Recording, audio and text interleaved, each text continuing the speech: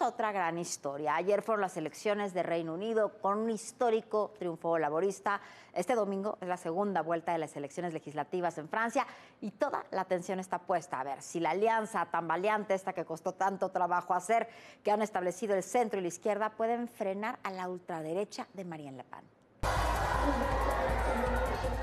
Es Marie Le Pen y Jordan Bardella ambos de extrema derecha, buscarán obtener el triunfo en la segunda vuelta de las elecciones legislativas en Francia, que se realizarán este 7 de julio.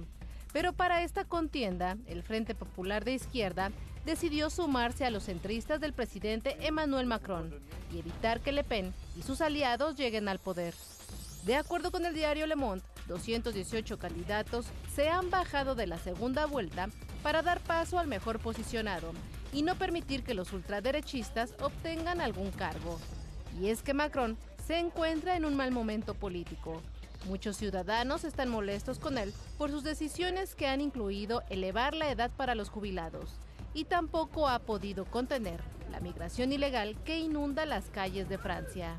Mientras que Marie Le Pen hace campaña con una plataforma en la que promete aumentar el poder adquisitivo de los consumidores, reducir la migración y adoptar una línea más dura respecto a las normas de la Unión Europea.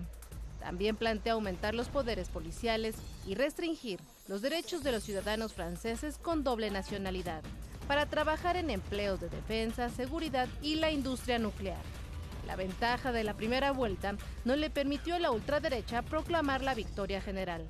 Pero en esta segunda vuelta, en caso de un triunfo, Le Pen sería la primera en encabezar un gobierno de extrema derecha en Francia desde la Segunda Guerra Mundial, mientras los oponentes temen por las libertades, por el incremento del racismo, antisemitismo y hostilidad hacia los musulmanes.